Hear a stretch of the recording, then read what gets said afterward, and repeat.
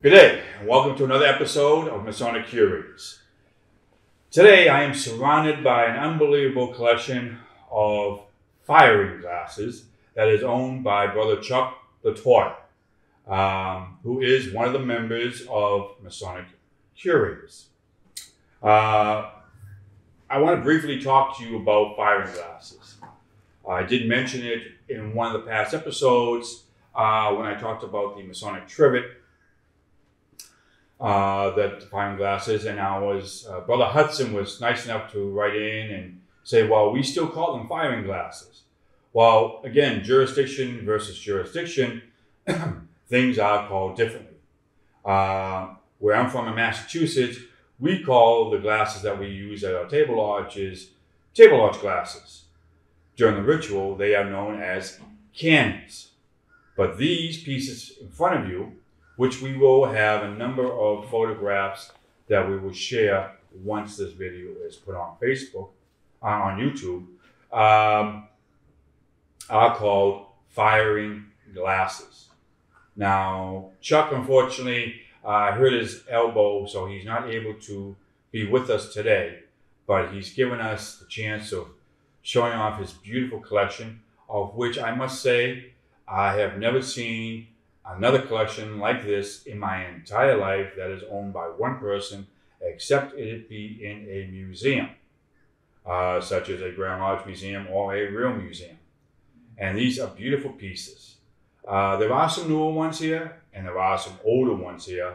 Um, as Chuck told me to be very careful with this ruby one because it comes in three pieces, which he didn't tell me when I picked it up. But hopefully, it will not come three pieces. Otherwise, I just bought a beautiful Bohemian uh, firing glass. Now, these date to all types of different periods. Um, late 1700s, early 1800s. Um, I seen them go as 1860s, and there are some newer ones like the Eastern Star one that is here. Uh, they are still made today. There are a number of companies that do reproduce these. Matter of fact, our good brother Patrick Craddock from uh, Craftsman Apron uh, also sells these on his site. Uh, there are a number of great write-ups that you can Google your own self and look them up. They talk all about the history of the firing glass. Um, these are actually the use of the firing glass in Masonic times actually stemmed from military use. Uh, when certain individuals in the military would do toasts, uh, they would have certain glasses and pound them on the table. We, as Freemasons, sort of adopted that during the colonial periods when our ancient brethren uh, both ate, drank, and did degree work in a tavern or other uh, meeting places. Uh, this I know as a fact because I have seen a number of uh, secretaries' minutes. Uh, once they did meet in a tavern, the certain pages are stained with wine dots uh, on those pages, indicating that the secretary was drinking, probably a little too much, uh, while he was taking the minutes and has spilt wine on those pages. So we do know that these existed. How they got into the hands of the brethren, we do not know. Um, I presume most of them were purchased by the member himself. But I have read, and unfortunately, I'm extremely bad at doing earmarks. I do not remember where I saw uh, where I read this, but I did remember seeing a very early Masonic Lodge had written in their uh, records that they had purchased a box of firing glasses for the use of the lodge. So perhaps a lodge may have purchased an entire uh, set of glasses for the use of the brethren during these periods. Uh, now, there's all different types. These are usually done in lead crystal. They usually have a heavy base, of which I am not going to bang. Uh, they are very, very expensive. Uh, I was able to purchase one which uh, Chuck was kind enough to allow me to uh, use today. Uh, this I gave Chuck to his collection. Uh, they are beautiful pieces. They're all hand wheeled, engraved. Uh, you'll find the skull and bones. You'll find King Solomon's temple. You'll find arches.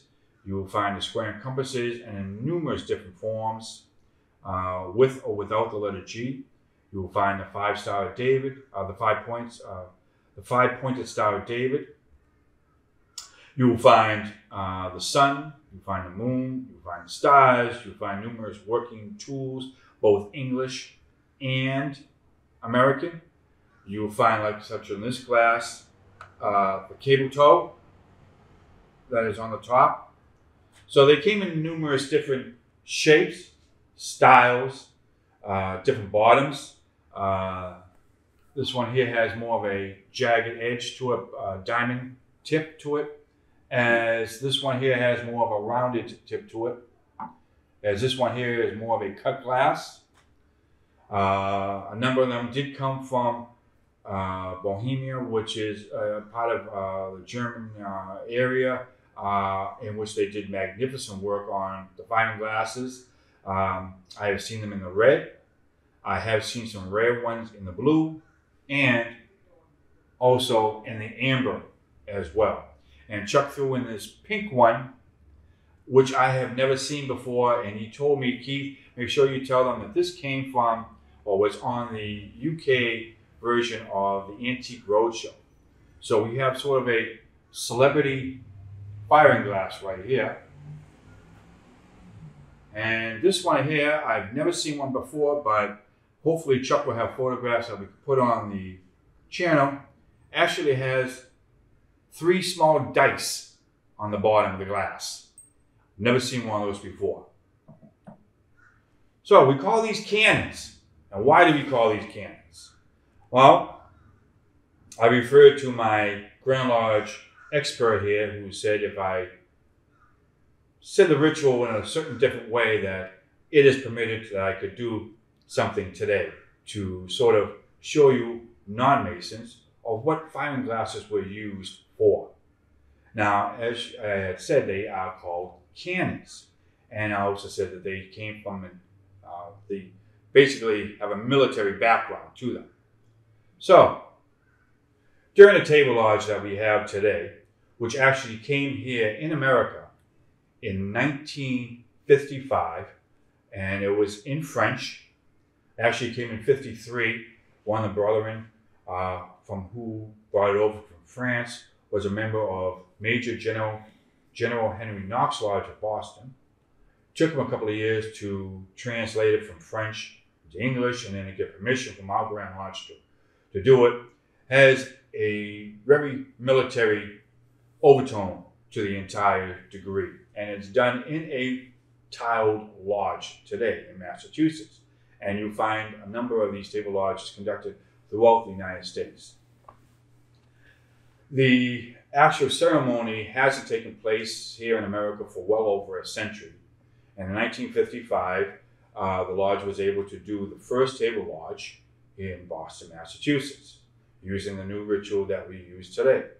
And we pound these glasses on the table to simulate the sound of cannon fire. And I will simulate that in just a second.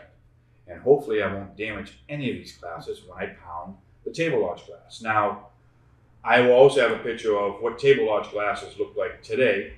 As you can see, I wish I lived this era compared to this era because I would have loved to have gone home stinking drunk from a Sonic meeting, drinking from this. And in those days, they might have had not seven toasts that we have today in this little glass, but they could have had 27 toasts.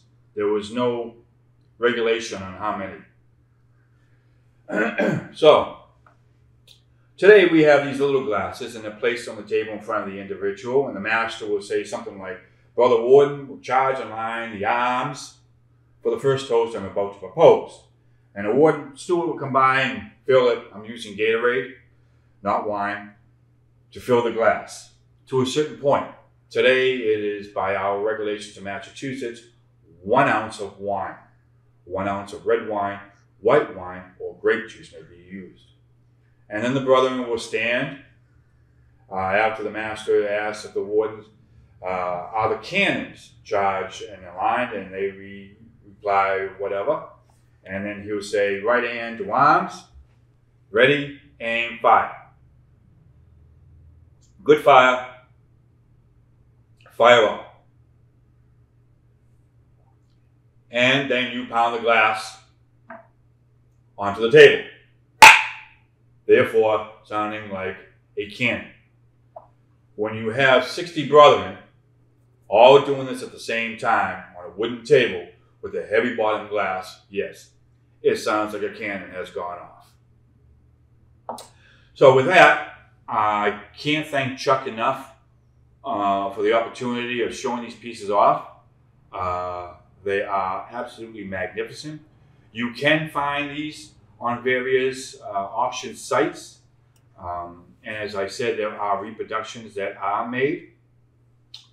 I cannot tell myself a reproduction from an original.